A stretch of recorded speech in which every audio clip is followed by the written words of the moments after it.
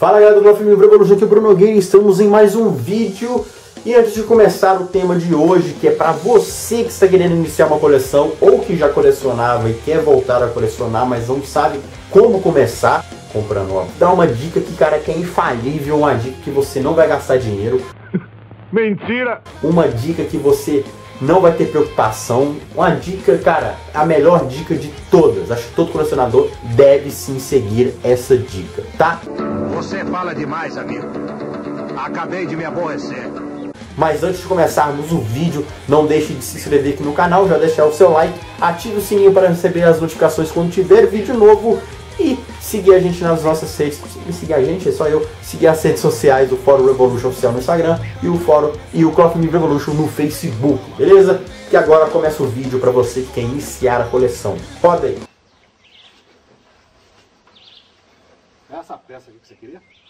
Bom, para você que está querendo iniciar a coleção ou que já colecionava e quer voltar, vou te dar uma dica aqui infalível que você não vai gastar dinheiro, tá? Não vai gastar muito dinheiro, não vai gastar mesmo você vai ficar tranquilo numa boa. Essa dica, gente, acho que todos devem seguir, tá? Essa dica, porque é muito importante é, para quem está começando ou para quem já coleciona saber sobre é, como manter pelo menos um equilíbrio, né? É, que às vezes a gente anuncia um item e fica aquela correria, aquela loucura. Fala o que você quer de uma vez, caralho. Com essa dica que eu vou te dar, você não vai ter mais essa loucura. E eu vou te dar essa dica agora. Tô igual com esse programa que fica enrolando, né? Um, sensacionalismo nada, mas acho que eu vou passar uma propaganda agora, pode ser? Não! Bom, a dica é o seguinte.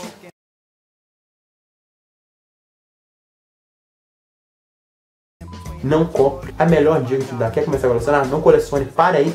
Esqueça. Se você segue página de colecionáveis, para de seguir. Se você participa de grupos, para de, de, seguir os grupos, Instagram, tudo. Não veja mais nada disso. Se você tem um amigo que, que, que, é colecionador, acaba com a amizade ou você fala com ele, mano, não vou mais na sua casa, pode vir aqui na minha casa, mas não fala de coleção, pelo amor de Deus. E não vem com roupa de bonequinho, nem pelo amor de Deus. Só porque você não vai ter preocupação, você não vai gastar dinheiro, acabou, economizou. Esse é o vídeo de hoje. O miserável é um gênio! Tô brincando, galera, mas também é a melhor opção é essa, tá? Bom, para você que quer começar a coleção, iniciar a coleção, vou te dar algumas dicas. Muita gente deve pensar, ai que vídeo bobo, dá dica, é só o cara aí pesquisar, eu quero comprar isso, pagar no cartão, dividir. Pro... Eu não vou ensinar você a comprar, ai você tem que dividir tantas vezes, não. É para você às vezes não comprar um item, é, como é que fala, é, no calor do momento, tá? Muita gente, quando vai iniciar uma coleção, isso há muito tempo, acho que hoje em dia poucos falam isso mas é aquela. Isso é uma mentira. Falar que, ah, vou comprar só o do meu signo. Ah, eu vou comprar só o personagem que eu mais gosto. Ah, vou comprar somente dois personagens que eu, eles lutam no anime. Mentira! Isso é uma mentira. Você comprou um, você vai querer a coleção toda, tá? Hoje em dia até que não existe muito completista, né? Antigamente existiam os completistas, eu conheci vários, o Olympus, né? Ele, que era administrador do fórum, ele era completista, né? É, acho que ele até hoje não é mais. Ele, ele, deu uma diminuída na coleção, acho que ele não coleciona mais, ele dá os preços. Mas ele tinha todos os itens lançava em feiras, OCS, apêndice, ele tinha todos. Pegava tudo. Na época era mais caro, um item OCE na época era de, e de feira era 300 conto. Pra época, pra gente. Mas, seguinte, primeiramente, quer começar a colecionar? Crie metas de coleção. Eu não vou estar tá entrando muito no detalhe sobre metas, porque tem um vídeo que eu já fiz sobre metas alguns anos atrás e ainda está valendo ele vai aparecer aqui no card. Aqui em cima você pode clicar aqui que você vai ser redirecionado para ele vai assistir. Assista o vídeo de metas de coleção que vale a pena. Esse vídeo bombou. Tá? Crie metas de coleção. Porque essas metas vai te economizar, principalmente questão de tempo e dinheiro. Porque o que acontece muita gente é comprar no calor. Já vi gente comprar no calor do momento uma figure. A figure chegou, ele. Ah tá, isso tá. Hum, montou, ah, não agradei, não pega e vende. Cara, às vezes você paga 500 reais uma figure, na hora que você vai vender, você vai vender por, sei lá, dependendo, você não vai vender ela por mesmo preço. Você comprou a lacrada, você vai, montou, usou, você vai vender por mesmo preço? Não vai, ela vai ter uma queda. Ela vai ter uma queda. E às vezes essa peça que você comprou no calor do momento, ela não, não valorizou. Às vezes até o preço dela caiu e você pagou 500 e já montou, desmontou, e vai vender ela bem mais barata, você vai ter um prejuízo. Então crie métodos de coleção. Qual é o seu propósito na coleção? Ah, eu quero ter os 12 cavaleiros de ouro. Então vamos lá, saga dos 12 cavaleiros de ouro. Não gastar aquilo que você não pretende. entendeu? Ah, eu vou pegar, sei lá, um exemplo. Tem gente que não gosta da saga de Asgard, tem gente que já gosta, mas vamos supor. Ah, vamos lá, peguei um, um, um espectro. Ah, legal, pagou 600 conto, beleza. Aí lançou, aí no, no, no, outro mês saiu um anúncio do revival de um Gold. Aí você, porra, mas eu acabei de comprar e abriu a pré-venda dele e eu tô estourado, pô, podia ter esperado. Isso acontece direto. Então, não vai no calor do momento, não. Crie metas de coleção. Assista o vídeo de metas de coleção. Essa é a primeira dica. Empolgante. A segunda dica é a questão de pesquisa. Pesquise sobre os preços. Pesquise. Pesquise sobre os preços. Porque às vezes você pode ver um cara vendendo um determinado item que você quer tanto por 800 reais. Você às vezes tem uns 800 reais na mão. Mas você fala assim, pô, mas vou lá, comprei. E passa, sei lá, a, a, você acabou de depositar o dinheiro, vê outro anunciando, às vezes até um vendedor mesmo. Ah, consigo tal item por, sei lá, 700 ou, ou 500 ou 600 reais. Ela, pô, vai pagar 800 conto. Cuidado com cambistas. Pesquise preços. Peça referências. Poste nos grupos. Galera, preciso de referências do fulano de tal. Alguém tem? Quero ver como é foi as negociações. Geralmente os grupos têm todos esses tópicos separados. Eu acho isso bacana. Tá? Peça referências de vendedores para você saber como é que foi a negociação. Que tem muito gente, muita gente. Teve um cara vender um Aldebaran por mil reais aí e foi um golpe do caramba, né?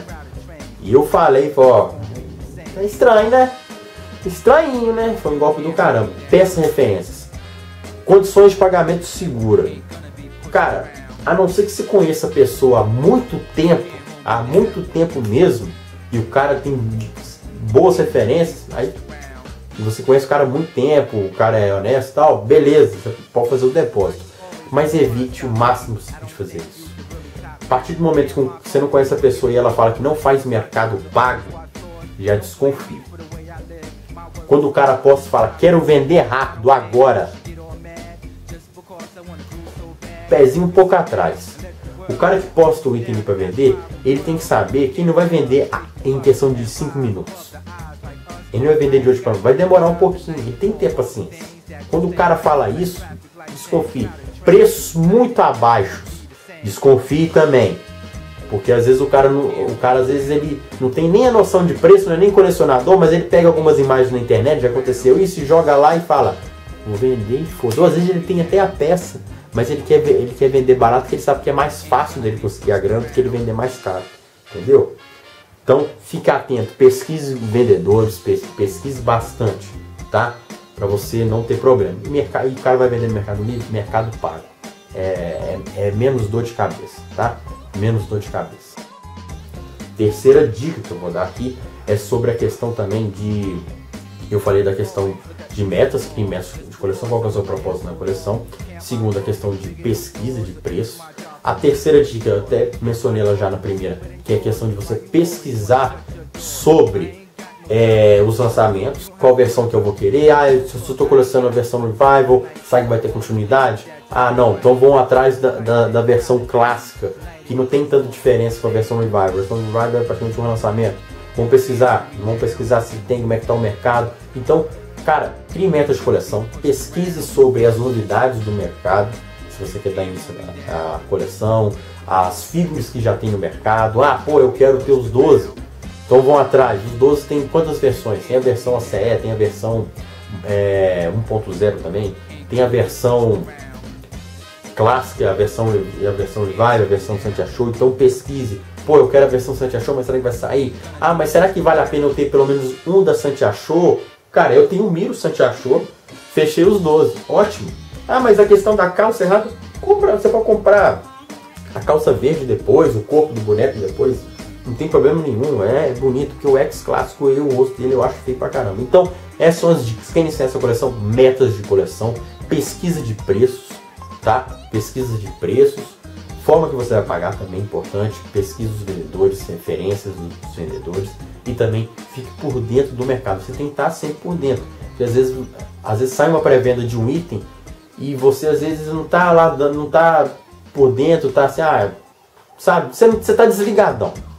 Aí sai uma pré-venda de um item que às vezes até você quer, mas você deu mole, não pegou e, ah, vou esperar a loja nacional. Aí às vezes você tem que esperar a confirmação se realmente esse item vai vir. Aí vem. Aí às vezes é, o item pode chegar, pode até esgotar rápido ou não, pode ficar no mercado, o que for. Pesquise e outra, como o mercado está estável, sempre espere algumas promoções. Aproveite o máximo as promoções. Black Friday foi muito bom ano passado.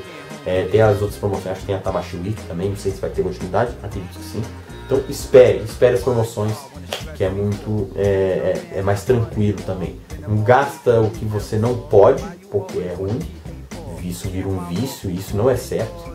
Tá? Não deixa a coleção tome a sua vida, se deixa de pagar a conta, de comprar as coisas que você gosta com a coleção. Não deixe isso acontecer, tá? Tonight it just won't be the same. You can't hold me down.